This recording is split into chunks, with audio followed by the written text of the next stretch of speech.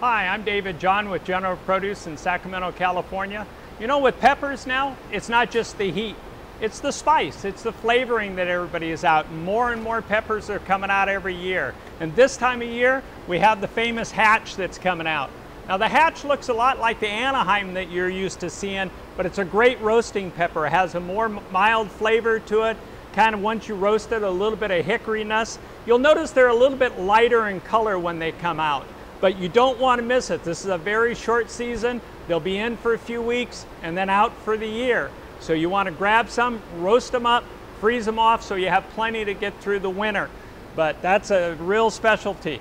Now the next one we have here is what we call the cherry peppers. They're these little round bombs, almost look like an apple when you see them.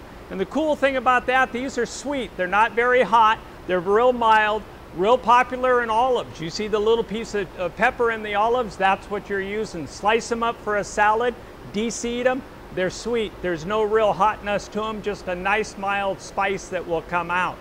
So there's a great treat to do.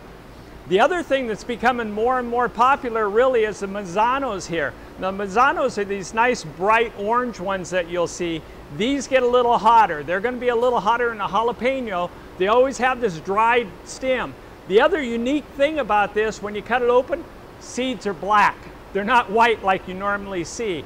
Great for cooking, salsas, things like that. Adds kind of a spicy hotness to it. Not real hot, a little hotter than a jalapeno, but great flavoring that's coming up. And then we have this chilaca that's out there. You're seeing more and more of these come into use now. This is great for your different cooking items. It's not real good to make a salsa or something out of. There again, the heat picks up a little more. These things will get up to 9, 10 inches long. Typically, they were dried. They weren't used for fresh a lot, but almost everywhere now you're seeing them consistently come into the fresh market and being used. It's driven by the chefs and the flavor blends they're trying to do. And the other one that we have that's definitely was always dried is the fresh arbol.